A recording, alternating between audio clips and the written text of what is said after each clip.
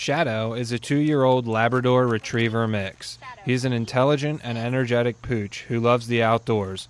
Walking, running, hiking, playing fetch, Shadow is game. He is already neutered, house trained, and knows a few obedience commands. This social and affectionate behemoth is eager to find an active, loving new home today.